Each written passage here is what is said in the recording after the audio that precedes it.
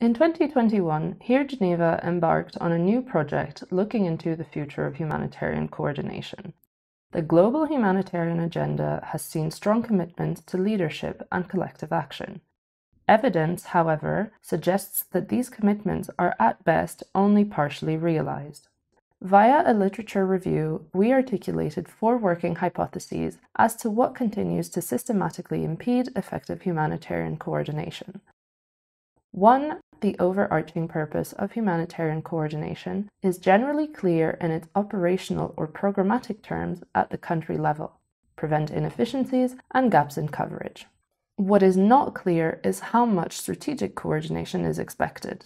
It is one thing to state that agencies will agree on priority actions and undertake joint assessments or planning. It is another to ensure it happens when everyone defines needs differently and prioritizes types of interventions from their own perspective.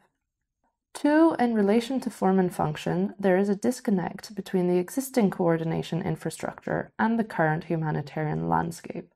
The world around us has changed much faster than our mechanisms and their ways of working. Not all emergencies fit neatly within the two recognized models for coordination of international humanitarian response. Three, agency incentives do not facilitate coordination. Individual agencies focus primarily on their own mandate and funding.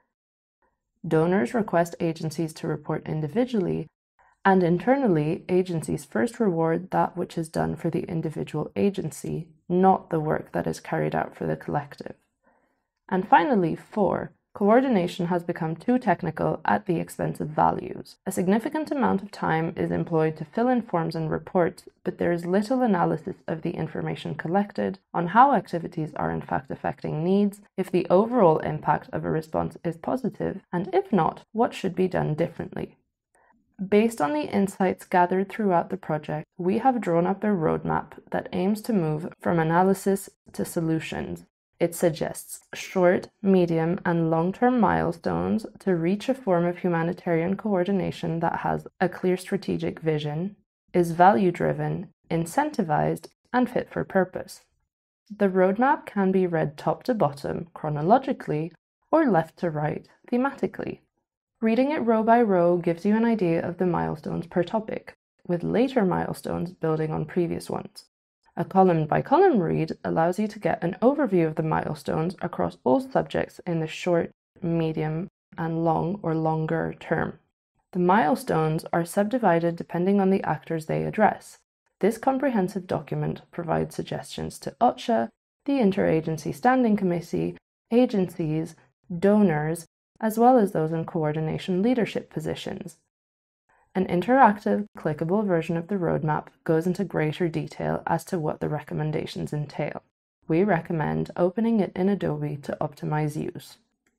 This video is the first of a series. The next installment will cover each of the four issues in thematic order. All project outputs are available at here-geneva.org forward slash future of dash humanitarian dash coordination.